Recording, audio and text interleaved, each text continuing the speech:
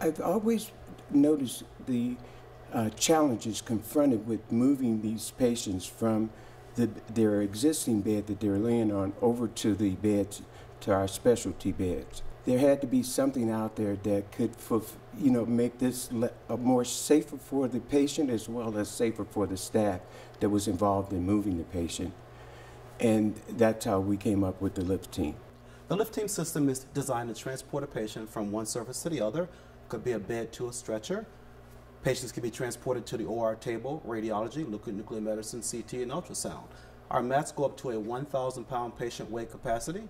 The mats are latex free, single patient use, disposable.